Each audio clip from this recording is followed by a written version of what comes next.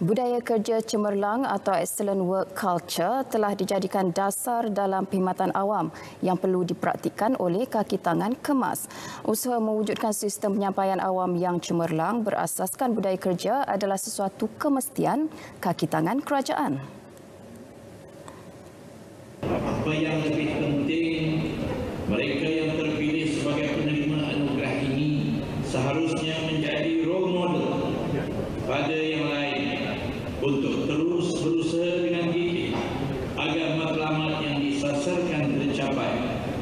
Datuk Hasbi Habibullah menyatakannya dalam Majlis Anugerah Perkhidmatan Cemerlang APC dan Apresiasi Kemas tahun 2020 di Putrajaya.